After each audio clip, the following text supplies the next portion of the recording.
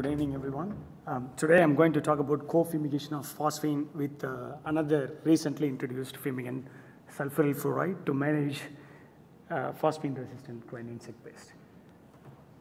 Um, first, why we need to go for co-fumigation?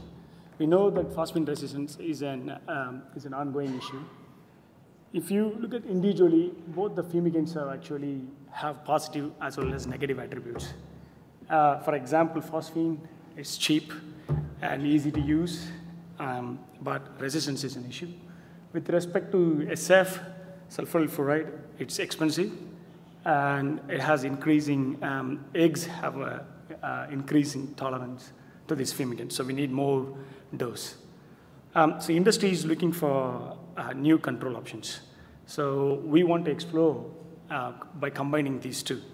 Um, and we do find, we do um, hypothetically thought that they have uh, complementary properties with each other. For example, phosphine can take care of eggs and SF can take care of rest of the life stages. We can reduce residue level by reducing the dosage of uh, SF as well as phosphine.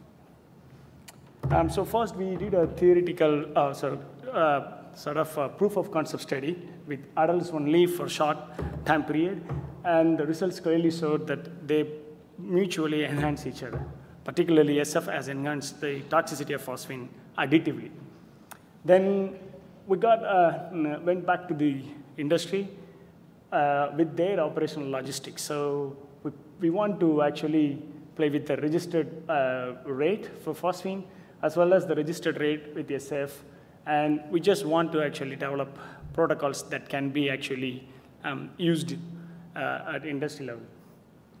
Um, so we have come up with a lot of different doses, um, and we can clearly see here that even at um, 0.5, half a dose of phosphine with one-fourth dose of SF achieving 100% mortality with uh, the most challenging and strongly resistant cryptolestes, uh, rusty grain beetle, Cryptolestes ferrugineus.